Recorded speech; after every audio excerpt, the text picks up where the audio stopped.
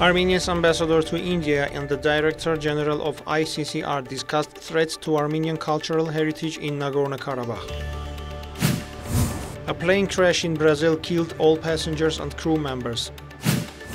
Armenia expressed condolences to Brazil over plane crash in São Paulo state. Russia has implemented counter-terrorism measures in Kursk, Bryansk and Belgorod regions. Overchuk and Mustafayev discussed outcomes of Moscow-Baku cooperation in various sectors.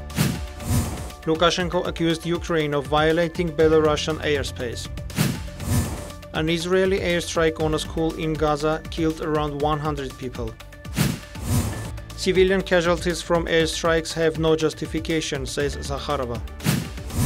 Iran and Qatar condemned Israeli attack on school in Gaza.